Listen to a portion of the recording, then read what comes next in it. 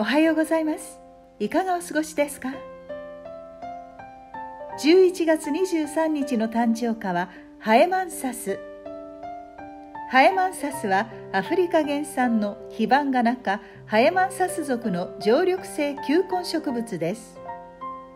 別名を眉ハケをもとハケのようなふさふさの花。葉っぱは太くおもとの葉に似ています。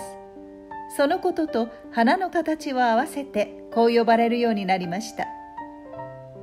6月から8月頃高さ30センチから40センチの花茎の先端に花が球状に集まり巨大な赤い線香花火のように咲き誇ります。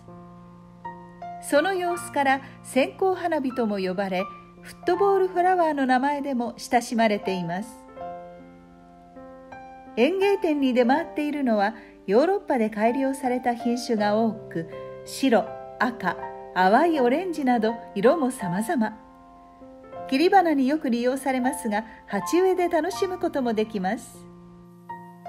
花言葉は冬。家計の先端に小さな花がたくさん集まって大きな丸い花形を作ることに由来します。今日お誕生日のあなたおめでとうございます。